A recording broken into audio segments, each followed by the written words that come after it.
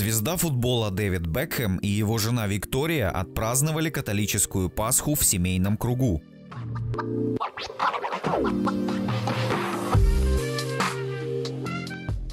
На своей странице в Инстаграм Виктория Бекхэм опубликовала несколько снимков с праздника.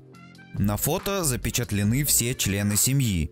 Виктория, Дэвид, их сыновья Бруклин, Ромео, Джеймс и дочь Харпер. Особым гостем на семейном ужине стала невеста старшего сына звездной пары Никола Пельц. Наша большая семья – самый ценный подарок на эту Пасху, подписала фотографию экс-солистка Spice Girls.